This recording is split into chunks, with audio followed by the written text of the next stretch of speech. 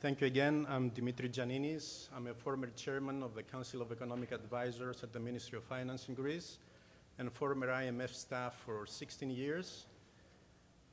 What I would like to discuss today is 10 IMF best practices that have yet to be applied to the Greek program. I would admit that the slides are a bit dense, but this was done deliberately in the hope that those of you who will find the slides interesting can use them as reference. The presentation has two segments. Uh, first, we will go through some relevant background information that I believe ties in well uh, with the next section, the second section, the 10 IMF best practices yet to be applied to the Greek program.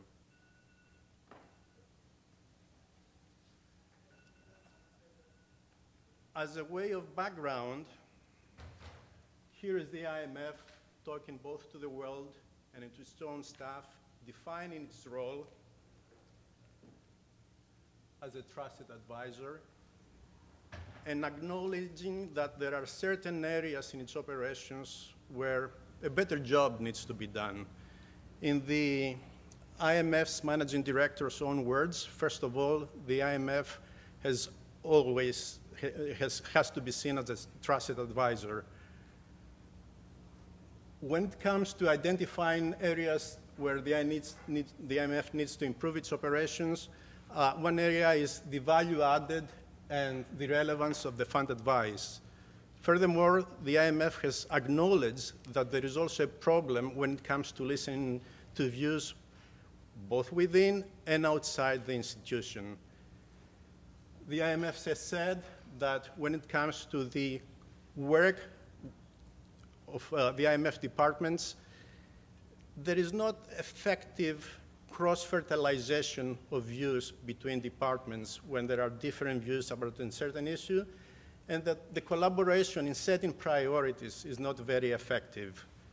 Here is an example, I believe, uh, for example, a case where one IMF department may be supporting the adoption of IPSAS by a certain country, yet the department in charge of the country, the department dealing directly with the country, may have a different view and not having IPSAS in, on the list of the top priorities. And that's a true case. Uh, furthermore, the IMF has also acknowledged that it has a problem listening and incorporating different views from outside the institution.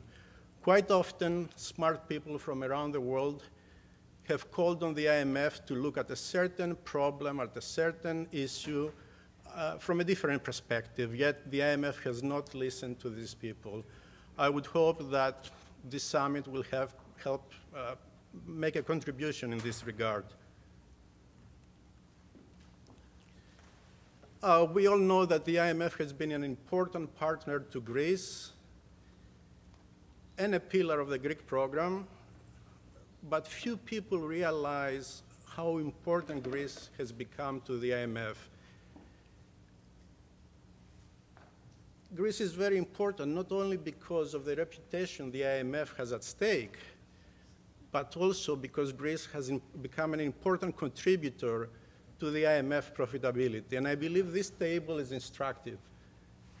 In the first two columns, we have the revenue and the expenses of the IMF.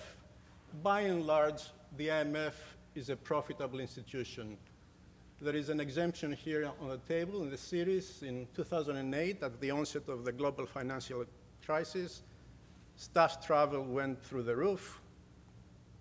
I'm sorry about that. Costs increased, and the IMF had a loss.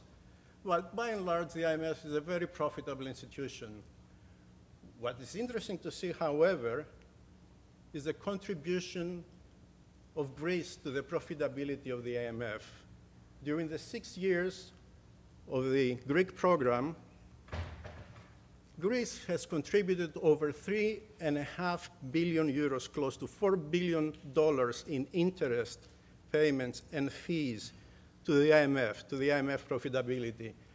In one year alone, in 2014, more than half of the IMF's net operating income was based on Greece operations, on the operations in Greece. And if you look at the last column, this is the profit margin of the IMF, a hefty 71%. That's very impressive. Uh, not too bad, I would say. Who would not want to have a stake in a company that enjoys such a comfortable profit margin?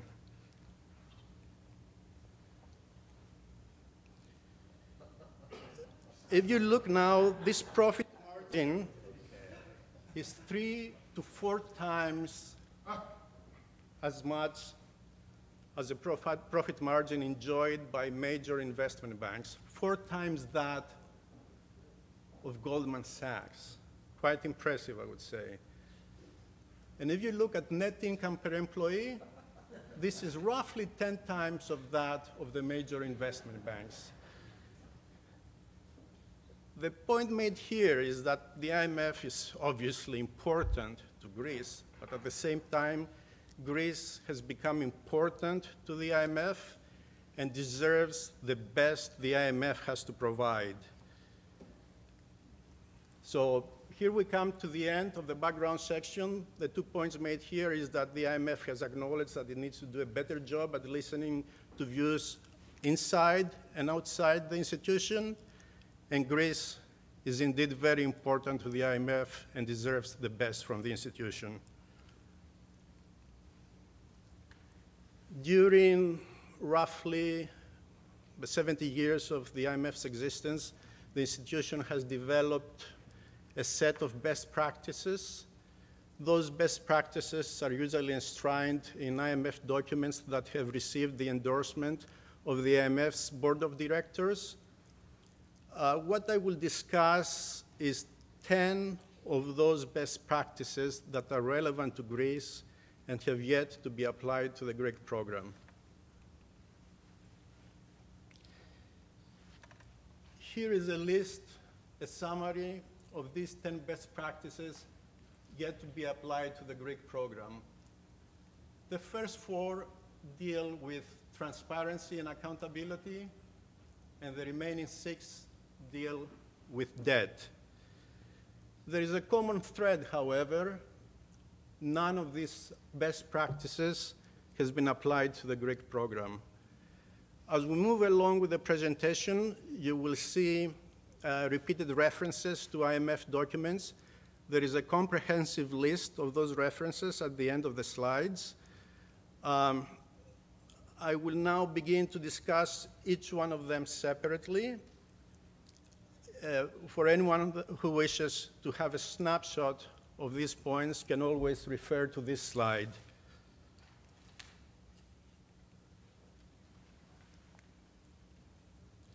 Best practice number one, make government financial transparency and accountability a top priority and produce a full balance sheet. Well, the IMF considers transparency and accountability a top priority in document after document of the IMF, a connection is being made between transparency and accountability and better performance. These are not selective quotes or phrases found in IMF documents. These are principles that lie at the center of the operation of the IMF. And if you consider that it was a lack of transparency that led to the eruption of the Greek crisis, one would have hoped that the IMF would, would, in, would, would be pushing hard for Greece to improve transparency and accountability.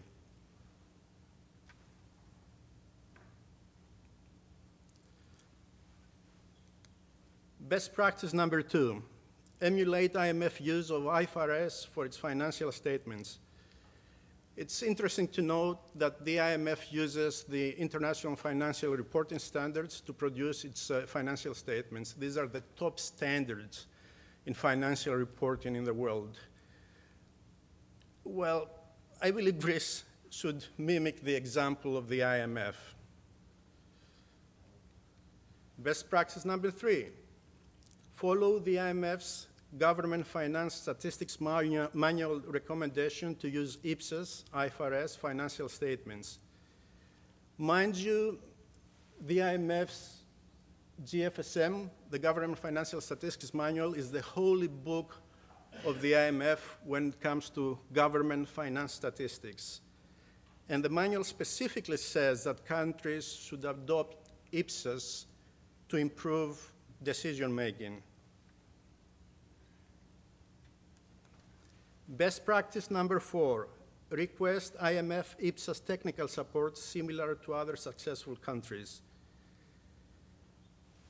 Recognizing the importance of IPSAS, the IMF has been promoting the adoption of IPSAS across a range of countries. In fact, it has been providing technical assistance to countries to adopt and implement IPSAS and has been monitoring progress with IPSAS. And I find the absence of Greece from this list striking. Best practice number five, use IPSAS IFRS to correctly calculate Greek government debt burden metrics, which are much lower than peers, and debt relief. In the case of Greece,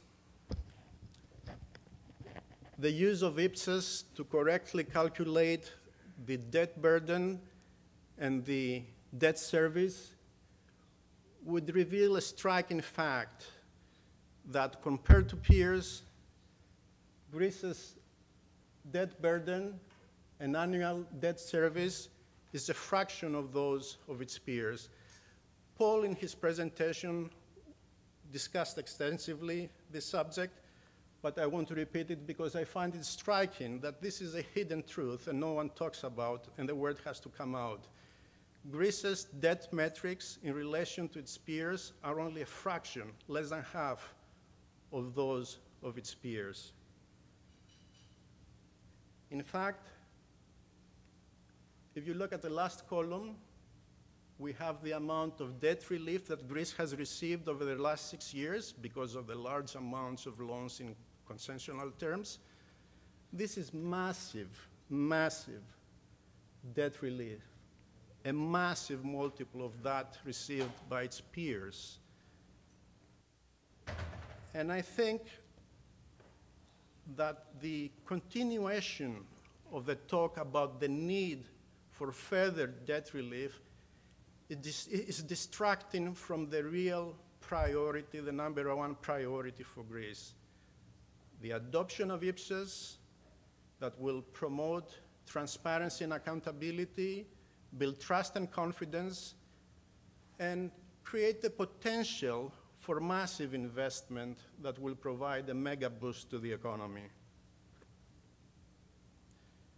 Best practice number six, recognize present value of debt for measuring concessional financing. The IMF has been using the concept of net present value of debt when dealing with cases of concessional lending Greece has received massive amounts of loans in, in concessional terms. Uh, in addition, the IMF has a model that uses in cases of concessional lending, but has not applied this model in, in the case of the Greek program. Best practice number seven. Having admitted that future face value of debt is not meaningful, stop using for primary balance targets. I believe this is an important slide. It's one of the very few occasions that the IMF comes out publicly admitting that it has been using the wrong metrics. Uh, and these are relatively recent documents. Uh, first of all, the IMF has admitted that the debt to GDP ratio in the case of Greece is not a meaningful concept and that the IMF should stop using the debt to GDP target based on the future value of debt and using this metric in defining targets for the program, such as the primary balance. Yet, it continues using this concept.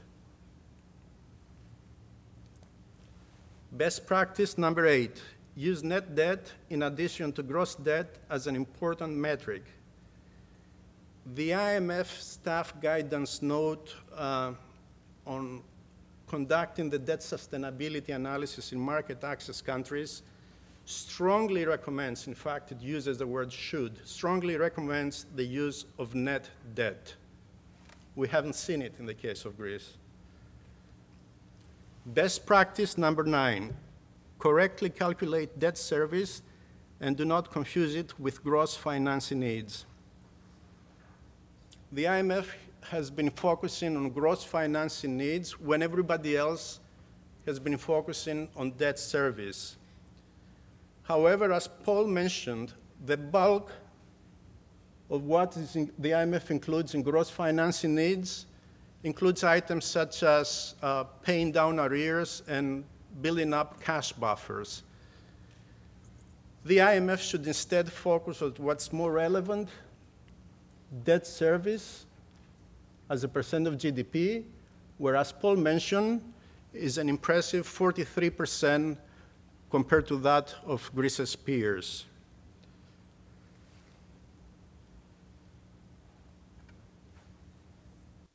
Best practice number 10.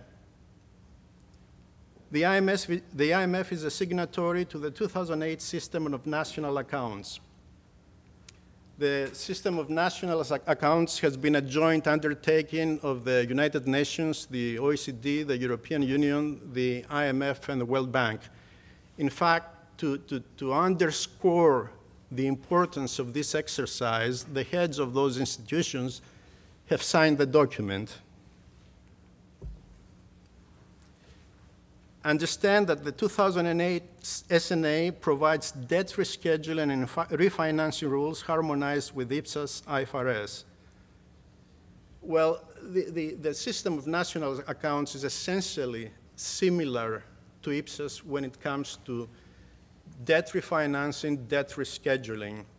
And the IMF has been an important contributor to the SNA. And one wonders why it has not applied the principles, those principles, to the case of Greece. Here we come to the end of the presentation, uh, building on the key points of the background section and on the 10 IMF best practices, the message I want to convey is the following. The IMF has admitted it has to do a better job at listening to different views, both from within and outside the institution, and Greece has been a very important partner uh, of the IMF. The IMF then should listen to calls that basically say, that the number one priority for Greece should, should be the adoption of IPSAS, which will improve transparency and accountability, build trust and confidence, and enable Greece, create the potential to receive large amounts of investment that will kickstart an economy and, in a good scenario, provide a mega boost to the economy. Here is a list of resource materials relating to the IMF 10 best practices. You can find this list in the summit material that will become available. Thank you very much. You have time for two questions. Yes, I will gladly take questions.